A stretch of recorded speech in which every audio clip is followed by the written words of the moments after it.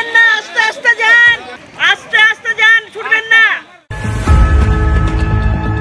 করোনার ভ্যাকসিন নিতে গিয়ে তুলকালাম বাঁধল সিঙ্গুর গ্রামীণ হাসপাতালে। কন্টেনমেন্ট জোনের মধ্যে থাকা এই হাসপাতালে শারীরিক দূরত্ব বিধি মানাতো হলোই না। উল্টে নিজেদের মধ্যে হুড়োহুড়িতে পড়ে গিয়ে জখম হলেন বেশ কয়েকজন। তাদের মধ্যে একজনের মাথাও ফাটলো। পরে পুলিশ গিয়ে পরিস্থিতি নিয়ন্ত্রণে আনে। সপ্তাহের প্রথম দিন এই ঘটনায় ব্যাপক চাঞ্চল্য ছড়ালো সিঙ্গুর গ্রামীণ হাসপাতালে। হাসপাতাল সূত্রে খবর, বর্তমানে সিঙ্গুর হাসপাতালে দ্বিতীয় ডোজের ভ্যাকসিন দেওয়া চলছে। কোভিশিল্ড এবং কোভ্যাক্সিন দুটিরই দ্বিতীয় ডোজ দেওয়া হচ্ছে। সোমবার এখানে মোট পাঁচশো জনের ভ্যাকসিন দেওয়ার কথা ছিল। কিন্তু এদিন ভোররাত থেকে বহু মানুষ এখানে দ্বিতীয় ডোজ নেওয়ার জন্য লাইন দিতে শুরু করেন। সকাল হওয়ার পর সেই লাইনে দু হাজারের বেশি মানুষ জমায়েত হয়। এরপর ভ্যাকসিনের জন্য দরজা খুলতেই শুরু হয়ে যায় হুড়োহুড়ি। কে আগে যাবে এই নিয়ে নিজেদের মধ্যে প্রতিযোগিতা শুরু হয়ে যায়। ঘটনায় বেশ কয়েকজন পড়ে গিয়ে জখম হন। একজনের মাথাও ফাটে। আমি এসেছি তখন সকাল সাতটা। সাতটার পর থেকে দাঁড়িয়েছিলাম দাঁড়িয়ে থাকার পর গেটে পর্যন্ত মানে কিছু লোক গেল, গিয়ে কিছুক্ষণ পরেই মানে দশ মিনিট আগে বলল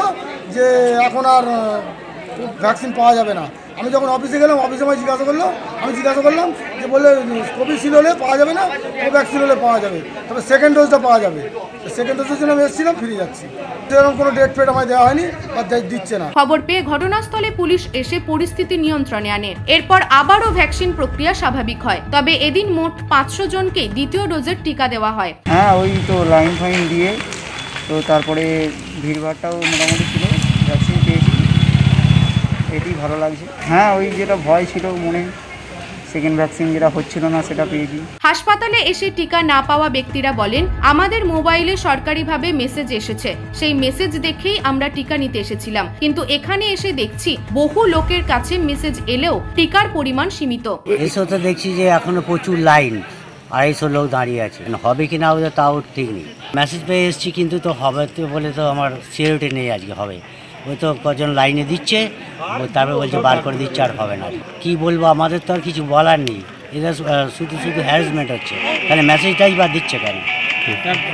এ বিষয়ে হাসপাতাল কর্তৃপক্ষের প্রতিক্রিয়া পাওয়া না গেলেও আমরা স্বাস্থ্য ব্যবস্থার সাথে যুক্ত সরকারি কর্মীদের সাথে কথা বলে জানতে পেরেছি। প্রথম ডোজ নেওয়ার পর দ্বিতীয় ডোজের জন্য নির্দিষ্ট সময়েই কেন্দ্রীয় সরকার টিকা গ্রহীতার মোবাইলে মেসেজ পাঠিয়ে সতর্ক করে। এর অর্থ, ওই ব্যক্তি সেই মুহূর্তে দেশের যে প্রান্তেই থাকুক না কেন, তার নিকটবর্তী ভ্যাকসিনেশন সেন্টারে গিয়ে সেখানকার পদ্ধতি জেনে ভ্যাকসিন গ্রহণ করুক। কিন্তু মেসেজের মানে এই নয় যে সেই দিনই তাকে যে কোনো উপায়ে ভ্যাকসিন নিতে হবে। কোভ্যাক্সিন কিংবা কোভিশিল্ডের দ্বিতীয় ডোজ নেওয়ার জন্য একটি নির্দিষ্ট সময়সীমা রয়েছে, যা একদিনেই সীমাবদ্ধ নয়। নিউজ আজ Bangla, Singur.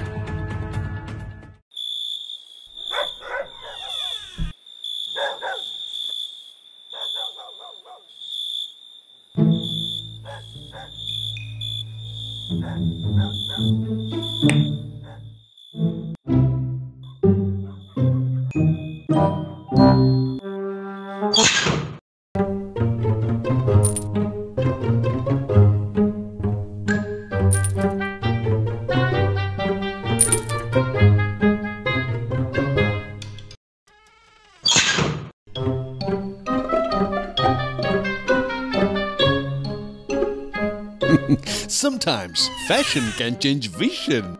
Malt Collection Jeans and T-shirts